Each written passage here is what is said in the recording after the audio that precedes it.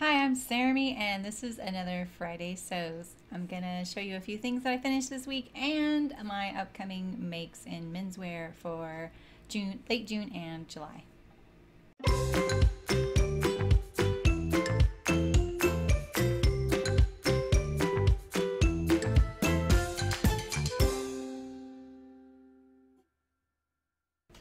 You can see here we made the color block top that we designed from the elements using the 100 Acts of Sewing book and it came out really fun and um, it was really fun to sew. It's got the pleated uh, cuffs on the sleeves, some flat fold piping, and then we carried the color blocking through so that it continued. And this isn't too bad for a prototype, right? Or, you know, first try. It looks great on. It's got a like a boat neck type of styling and it fits really great. I, really love how it came out.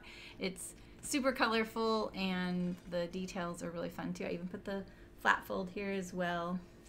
And yeah, it turned out really great. I'm pretty happy with it. I was also able to finally apply the non-skid backing to the rugs that I sewed here, which are basically just big squishy, you know, quilts. And it came out really great. Uh, it was really easy and it dried really fast and you apply two coats. I only had one tip from a viewer who said make sure you don't put a little bit goes a long way. And so I just applied it in a few strategic spots. You, it dried clear so you can barely see it, but you'll see it's right here in the center. And I did it in this, um, kind of in this outer ring. Since they're it's a concentric, it's not concentric, it's a spiral. Since it's a spiral, I kind of hopped the line right here. And then I did the outer perimeter as well. And it feels pretty good. I've already tried it on the floors here. Very subtle. I love, it feels like waxed cotton. Like it feels very close to waxed cotton. And I just put two coats on with the brush. So it was pretty sloppy. Like I got outside the edges and it doesn't even matter because it dries clear. And here's some of my half moon shapes as well. And the blue, it's even, you can barely even see it right here. I have it on this outer edge here. Um, and I have it on this right here, this arch, and in the center, and then an arch here. So yeah, I, I think that this was a really great solution for this and you can apply it to other you know materials or maybe a rug that you have that's losing its non-slip and it's called fiber lock i'll link it in the description.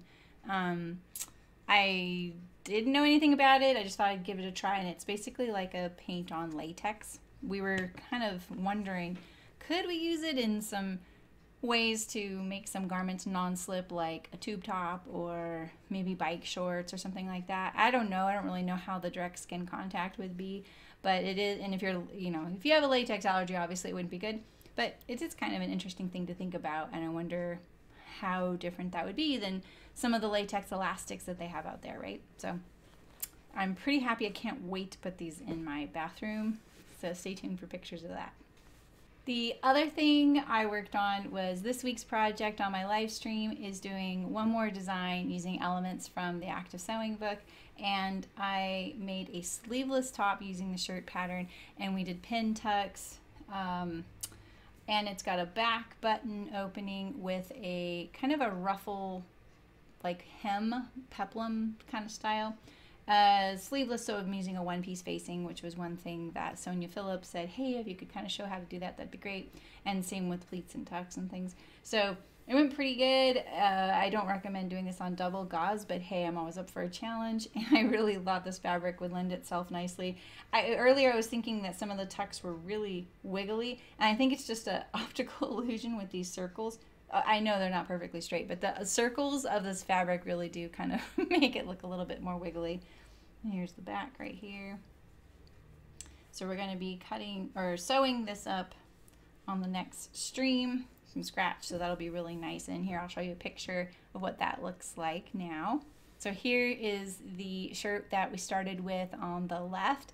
And that is the one of the shirt, the one of the patterns that's included in the book. It's very simple, you know, great blank slate for doing whatever you want. And then I turned it into the one on the right and we did all the pattern drafting and cut it out. So I can't wait to see it done. I wish I got to keep it, but it's okay. I think it's going to a really good home.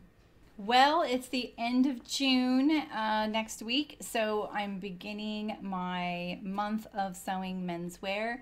I'm going to go all the way through July. I have to take a week off in July because I'm helping my daughter move, so I put one of the weeks in June. And I'm going to be doing this North Star pullover. I'm actually modifying this quite a bit, but I thought that it would still be a good starting point for folks. And it's going to look more like, you know, that kind of classics Patagonia quarter zip pullover um, with collar, no kangaroo pocket, no hood. Um, I may do the rib band, but probably not. I'm, I'm modifying this uh, a lot. um, and do I think that there would probably be better pattern out there? There probably is, but I think that this is still a really good starting point, and they have hacks for this on their site. So I'm not going too far outside of what they intended this hoodie or this pullover to be. So I'm still waiting on the fleece. It's arriving soon, and that'll be a really great one to use with my serger too, right? So, and I think it'll also be good to show how to put in a zipper that stops in the middle with no seam across the chest there. This would be a much easier way to sew it, so it's going to be kind of a, a really good sewing challenge as well. This is by Love Notions Patterns. It's kind of hard to see right there. but This is Love Notions. This is my first time sewing one of theirs, so that's awesome too. What a pretty pattern cover too, right? Um, another company I've never sewn patterns by is Wardrobe by Me, and I just kind of late to the party on that one. I'm looking forward to it. They look so well laid out, and the pattern instructions look really well laid out. Um, and I'm doing these cargo shorts. And my husband picked out all these fabrics. He picked out the fleece as well, but it's just not here to show you. This is a classic Carhartt canvas and in almost a almost a Carhartt color, um, but they didn't have it in that. And I'm doing these cargo shorts, which is really really utilitarian. I'm gonna do these first since it is the beginning of summer. You can get a lot of use out of these. The other thing I'm making is this men's utility jacket and I'm not, I might modify this in that I might remove the waist casing. I'm gonna see how my husband feels about that and it doesn't, I've never seen him wear something like that so I'm not sure if it's his style or not. He might want that though so I might keep it.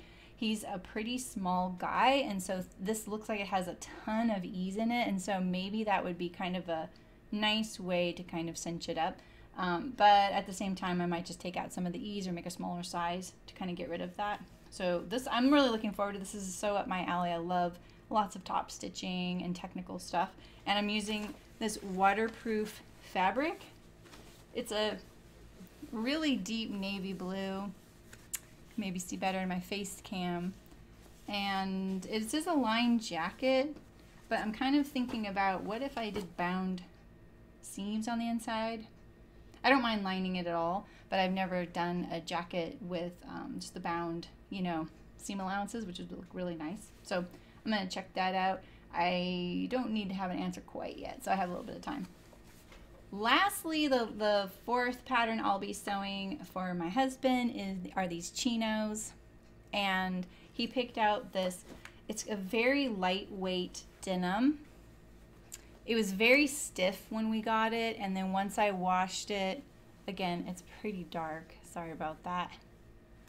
So here, I brightened it up a bit for you so you can see it a little bit better. But yeah, it's kind of a really nice textured, lightweight denim. It was very stiff when we got it. And when I washed it, it kind of softened up. Uh, I think it'll be really nice chinos because it, it's kind of um, not as like classy as like maybe a khaki trouser but the denim kind of gives it a little bit of a modern edge to it. At least I think so. Um, so I think that'll be really great, but it's still very, very lightweight, perfect for all the welt pocket sewing, and I think this will be a really good choice for this.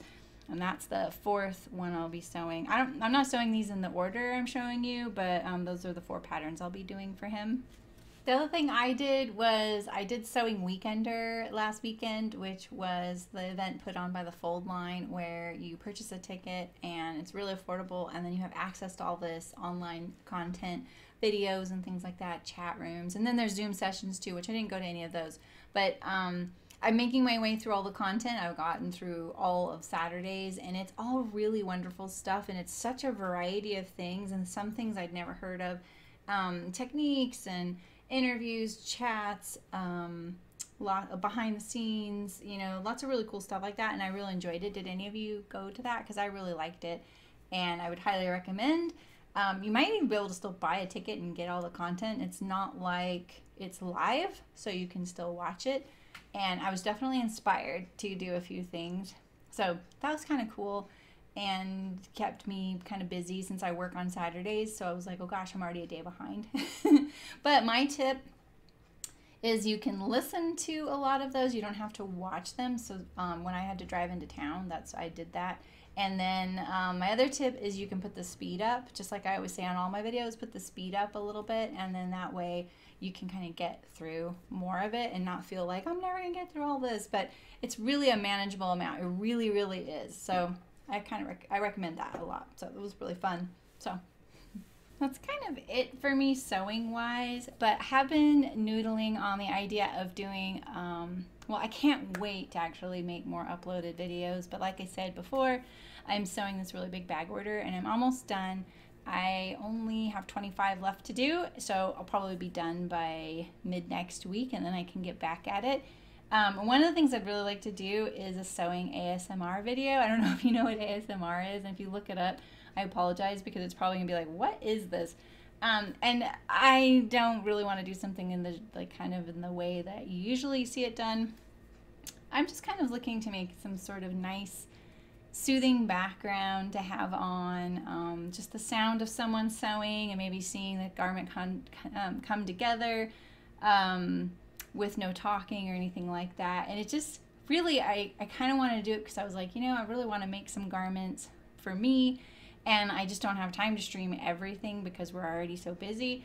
So, how can I do it and not get like flack from everybody for not filming it? so, I thought that might be one way to get away with it. Um, and maybe what I do is I make a tutorial version and a non tutorial version um, and like my chat said, make sure you're really clear. There's no talking in this video, so I don't get that comment that says, this is really great, but you didn't tell, I don't know what's going on, and it would be great if you told us, you know, so, because I do get comments like that sometimes. I think that that it would be really kind of fun, and maybe my first one could be a version of this top for me, since I don't get to keep this one or the pin tuck one, I'm sending them back um, with all of Sonya's fabric when I'm done with that project. Um, and then um, we all know how that goes together, right? Because I've already done a video on that. So it's kind of a free pass. uh, let's see, what else have I been thinking about? Um, I think like right now the heat is getting up there. It is 100 degrees right now. It's going to be 109. Uh, I get, you know, messages every day on what fires are in the area from, you know, like I, I have like notifications on to some of the the agencies in the area so that's heavy on my mind but also like we've had this little family of foxes on our property and i was watching three babies play at the just under my bathroom window all morning when i was you know getting ready. And there's a deer a male deer. He had antlers but no prongs yet and they were still fuzzy. He was wandering around in our yard yesterday morning trying to figure out the best way to get around which was funny. And he's been kind of kind of slowly discovering aspects of our yard that are a little tastier than others, you know. We have all kinds of critters there, and I'm always like, oh, should I scare them off? Because I don't want them doing the buffet of my pets. Um, but at the same time, we have one of the only properties kind of in the area that actually has some vegetation on it. And I think it's just one of the last places to live, really, you know, around there for some of these animals. I saw a mother turkey go by the other day with um, a dozen babies all three of these animals I saw in the same exact area, and so they're all over our property. We only have about five acres, but there's lots of critters in the area, bobcats and things like that. Um, and those turkey babies, oh my god, they were so cute. They did little tiny things. Oh, they were all awkward little teenagers. They were cute. So I really love that, but at the same time, like, should I scare them off so my cat doesn't eat those babies, you know? My week without sweets went really really good. And having the like treats on sunday i got to sunday and i was like wow i'm not even craving them. So i did have a little ice cream yesterday though because you know it's 100 degrees. So that's kind of nice. Oh and i'm wearing the friday pattern company lucida dress. I've made a couple of these. I made these one this for a, a fabric shop and I didn't get to keep it, so I really wanted one for me. Um, there's some fit changes I would make to it, but it's really comfortable knit dress and really fast and easy to sew. I think I need to make a couple more of them, you know. I'll show you my dress real quick. So it's pretty simple. It's got kind of a waist seam and then you can gather this up as much or as little as you like. You can kind of, you can flatten that out. You can scrunch it a lot. Um, I just do it kind of in the, somewhere in the middle. Um, and I think if I were to make this again, and the back is very, very simple. It's got a little seam right here and just kind of hangs loose. And I think if I were to make it one more time, I'd probably raise this seam up a little bit. I definitely would pinch out because I always have this problem for fabric pools right here. So I would get that and I'd probably put the flare, a little less flare at the sides and at the center. I'd probably distribute it a little better.